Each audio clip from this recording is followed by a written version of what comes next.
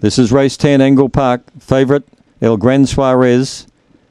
Ready and racing. El Gran Suarez was last to leave the boxes. Barksdale out well from the outside, coming across quickly is Smashing Blue and driving through along the inside. Now, after a slow start, El Gran Suarez has gone from last to go to first right along the rail. Also following it through was Little Wolf. They come to the home turn. El Gran Suarez in front of Little Wolf. Barksdale finishes on and down the outside, Smashing Blue.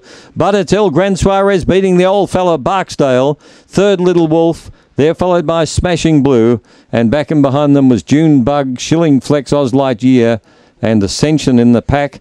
22.45, and a spectacular win there after a slow start.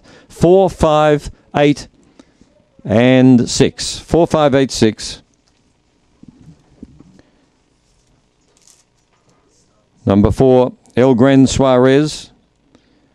A black dog, December 12, by El Gran Senor from Token Cabernet raced and trained by Vicky Jarvis. He's had three starts here at Angle Park over the 388 for three wins. Three from three. 10.03 and the run home 12.42 for 22.45 overall. Second to five, Barksdale. He jumped well, the old boy, and he battled on very strongly on the fence. Third to eight, Smashing Blue. And Little Wolf, after running up behind the leader on the turn, has run fourth. Oz Lightyear fifth a length by half.